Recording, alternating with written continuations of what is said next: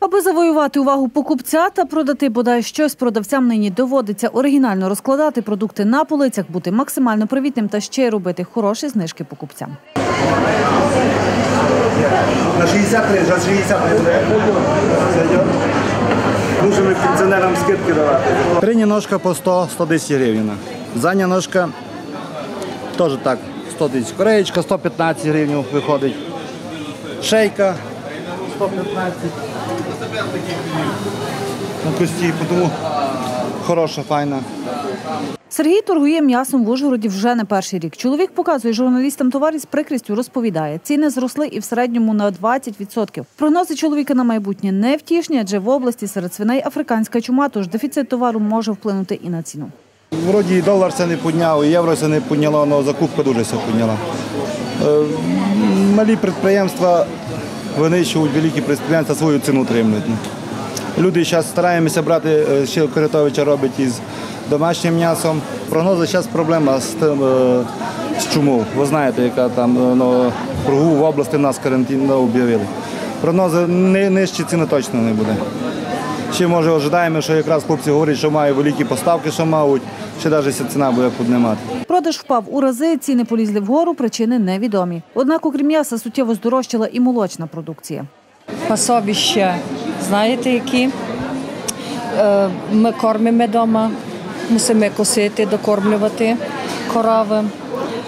І ціна така майже як взимку. Молоко 15 гривень літр. Творог то яка грудка. 25 гривень, 30 гривень грудочка сиру. Е, Сметанка теж була дотепер 20 гривень, піднялася на 25. Продавці розповідають, причини росту цін на молочку засуха. Однак ростуть ціни не тільки на м'ясо та творог, розповідають ужгородці. Ціни дуже дорого, все страшно дорого.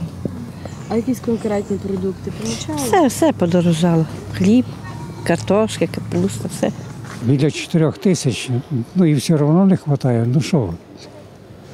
Тисячу гривень давайте я віддам державі за усі послуги це літом. Все в магазин прийшов, товар купив, з вас ПДВ знімають. За що? То теж не зрозуміло. Все таке дороге.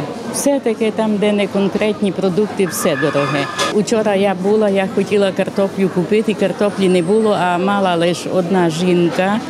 Та по 8 гривнів така малесенька картопля була. Але Ціни змінюються щодня. Майже 3 гривні яйця, більше 30 крупи, рис, гречка 10-15, помідори, огірки і це не межа. За прогнозами продавців, черговий ріст можна чекати вже восени. Жителі Ужгорода кажуть, виживають, а що робити? У відчай не опадають, чекають кращого і тим часом діляться своїми порадами, як зекономити. зраховую я як пенсіонерка бюджет на кожний день, бо інакше, якщо я не розрахую, значить не вистачає навіть на хліб. Останній тиждень до пенсії не вистачає навіть на хліб.